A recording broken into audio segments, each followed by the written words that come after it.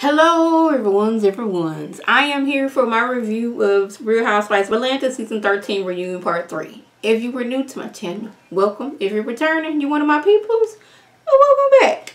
Quick rant before I get into this review. I've been having issues with my DVR box for the past, I want to say, six days. They tried to troubleshoot it, didn't work.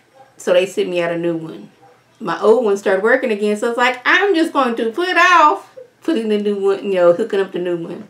How about last night? It's like, okay, sis, you wanted to keep on playing with us. You got a new one at your house that you have not put and have not hooked up yet. we not going to record your show. So I go to go watch my show, Real Housewives of Atlanta, reading part 3, 8 o'clock. And it's like, your listings is not available. I was like, I know you lying. So I was like, let me try to, you know, unplug it, plug it back up, do all those things. It said, no, we're not doing that. So I had to wait till like 10.30 to do my review and do it without rewinding, which was very, very difficult for me because I be missing out stuff when I be having the DVR box working. But I just needed to get that off of my chest, y'all. On to the review.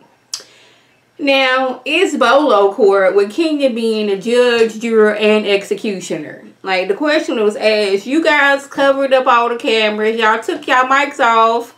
Why was you still out here telling folks business?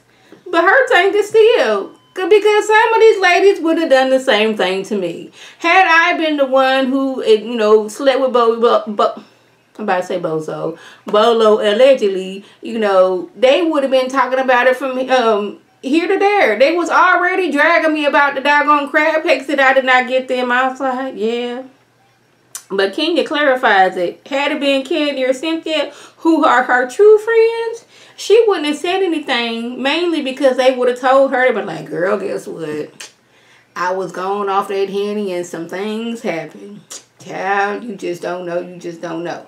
But I was like, I think it was more so that it was Porsha. But my thing is, if Porsha had a popped out that next morning like, y'all, guess what Bolo can do? Then what would King have had to talk about for the remaining of the season?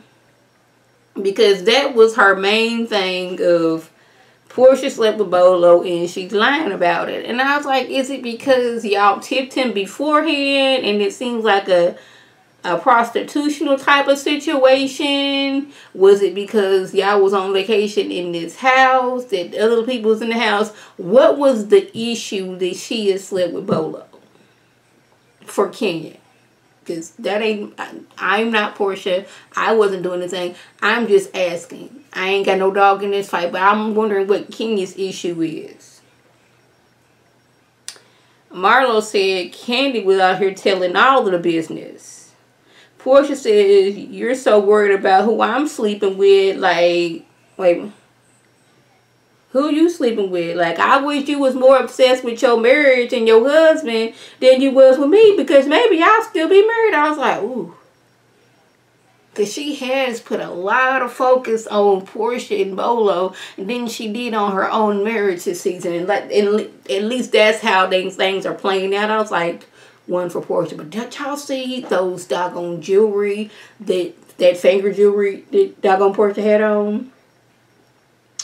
Now, it reminded me of a grown-up, more elegant. Y'all remember back in, like, the day, they used to have those little small, like, um, it was like a little plastic, and I'm talking about plastic, plastic, little baby high heel, and like a ring, and these fake um, nails that you put on for little girls it reminded me that, but like for grown ups and sophisticated, not so much with the plastic out here, but the fingers, it was like you just snap them on your hand, and it was just, I was like, those look so gorgeous, and I'm hoping when I, you know, get done editing, I can find a picture of them because Porsha was over just moving her fingers and doing all this, and I was like, oh my goodness, that looks so beautiful. I mean, I would never wear it anywhere because I don't be going nowhere. I kid you not. I go to the doctor. I may go to like Walgreens or the Family Dollar and I be in my house. Yeah. So, but I was like, that is so, so gorgeous.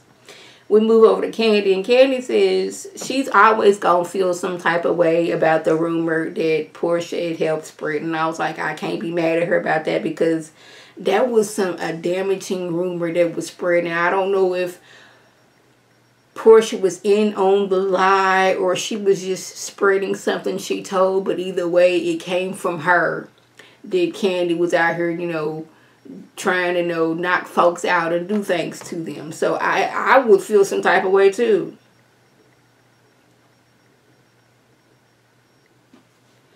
The question was asked if Marlo, if you and Kenya hadn't made up, would you have backed her up? And I don't think she would have because it was like soon as these two became like, we just gonna squash the beef. You be mad at me, I be mad at you. This is exhausting. Then it turned to, but girl, did you hear what was going on? Well, girl, I did hear what was going on. It was almost instantaneous. I believe I'm saying that correctly. I'm so used to messing, um, making up words into new words that sometimes I'm like, is the real word the real? Am I saying the real word word correctly? I almost couldn't get that out. Now, Porsha says she is still friends with Tanya. And Tanya's like, you know what? This ain't the group for me. This is the second season that I have been on here. And somebody has come for my marriage. I guess you can almost say season. That's her third season because it was one season where I don't know if I was all in the same season or not. When Nene was ever talking about something, you might not be getting married, but y'all know it's either two or three seasons. At least two seasons. One, when Kenya doggone call herself getting back at Tanya for showing her wig to everybody and bringing the cookie lady on. And now we got this whole situation and you trying to bring me into some mess. I'm not for that. I don't need this in my life, so I'm going to give y'all the deuces and bounce. But I just did not appreciate the fact that where, where Kenya was trying to shade Tanya, talking about some her life partner, her life partner. She had her life partner to go to explain to. And I'm like, she may have her life partner, fiance, whoever she want to call him, but the person she is with is in the same city, same state, and same house as she is in your husband is in a whole nother state. And when you do go visit your husband, you stay at a hotel. You ain't never met this man's people. So are y'all I mean, I'm pretty sure Tanya has met her um significant other's people, his parents, brother, sister, cousins if he has any, his auntie, his uncles, his best friend from the fourth grade. So just because you have the title of being somebody's wife does not make you over Tanya because you still really don't know this man's people like that. Just saying. Now we moving over to this whole Prophet Lot situation. Now it could have just not made it to the doggone screen if you ask me. But my thing is, Drew was going on and on and on about how Latoya, and Latoya alone, it seems like, is the sole reason that her baby was not being able to get, get you know, have her blessing. Now, I'm going to say this, and I might make a lot of people mad, but she seemed like she comes from that type of church to where if a young lady gets pregnant by somebody in the church and she not married, they sitting her down. I don't know if they still do that, but she got to get sit down. She can't participate in anything church going on. But the person who got her pregnant, he's still playing the drums. Then we gonna blame everything on the woman. The man you fine to still do whatever you want to do, but you, young woman, you sit your tail down since you didn't got pregnant. This it seems like I don't know you like that, but that's how she's making it seem because it's all Latoya did this because it's because Latoya did this, that, and the third. Now my thing is, if I had a parent a uncle, a auntie, a cousin, a, somebody that I knew that was close to me that was a evangelista, a evangelist, a pastor, a minister, a bishop, any of those things. I would have had them bless my baby. Isn't her mom like an evangelista or something like that? Her mama is up in the church. Her mama be preaching and teaching the word. So how come her mama didn't bless the baby? That should have been your first choice. Now, prophets near and far, they don't want nothing to do with this because it got that bad spirit on it.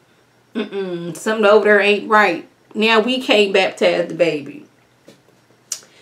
Now, let her tell it that the recording had a lot of damaging information on it, but for legal purposes, she couldn't she she couldn't you know play the whole tape. I was like, if you couldn't play the whole tape because of legal issues, you should have never brought it up in the first place. Because the way she went on is like, this is, was blessed for me. You know, it was thrown into my lap. You would have thought that doggone the prophet was on there like, yes, me and Latoya, we spent several weekends in Hawaii. Just the two of us in a room by ourselves. Clothes were off. You draw a picture of what was going on. We had a wonderful time. We was throwing back the henny. We was doing everything. We was wild out here.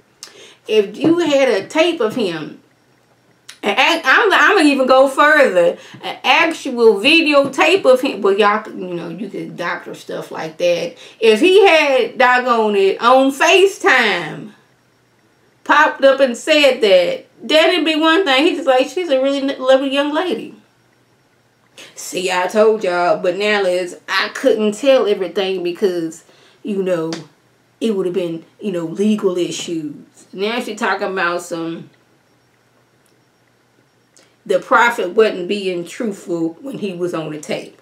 Y'all know there's some false prophets out there. And I'm like, and you want this man to bless your baby?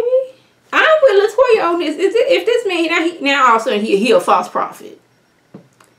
But you want him to bless your baby. You should be thanking Latoya because because of her actions in a roundabout way, she revealed that Prophet Lot was a false prophet, that he shouldn't have been handling your baby's blessing in the first place. See, you should be thanking Latoya because of that. Y'all, I was hoping that my fro was going to fro. It's froing a little bit. It's been, I had it in a twist down for like two days. I'm trying to do better, y'all. But I was like, how's this how was this part three to go about? Because truthfully, if Bolo Gate had never happened, we wouldn't have needed a part three. But I'm pretty sure they would have tried to squeeze something in there for us to talk about. At one point, they was like, this is the Porsha, the whole reason we having the dungeon thing. Porsha thought they were talking about because of Bolo Gate, so she got up walking around talking about some, yes, it's because of me. I want to find a tube to put on my finger so I can show y'all what her nails is looking like. Okay. Imagine this is silver, all the way silver, and it's all on my fingers. She was doing a lot of this, and it was, I was like, yes. So she was walking around like giving her Miss USA on like, yes, this is all because of me. All because of me all because of me and all that other stuff. But it's like, no, it's the dungeon thing because you said the Kandi had a dungeon out here. That's what that was. At one point, I think either Kenya or Marlo or both was trying to shame her, body shame her, and like Marlo was talking about her teeth. Porsha was talking about Marlo being arrested. But here's my thing. Marlo, you so focused about who, you know, whether Porsha slept with Bolo or not, which I don't really, I, I don't understand why y'all so concerned with what was going on in that woman's bedroom at the time. But anyways, Marlo, how was you making your money? Just a question. So y'all, that was the just. If I left anything out, by me, leave a comment below. If you were new to my channel, welcome. Feel free to subscribe. It's free all day, every day for 99 Make sure your notifications are on Swim My Beautiful Face. Put some video. You can click on it. You can like it. Can share it with your people. And you can come over and be one of my peoples. If you're already one of my peoples, oh, welcome back. Y'all know what to do. Tell your people to tell their people to come over and be one of my peoples by clicking that icon above. This is Lady T signing off. Have a good one.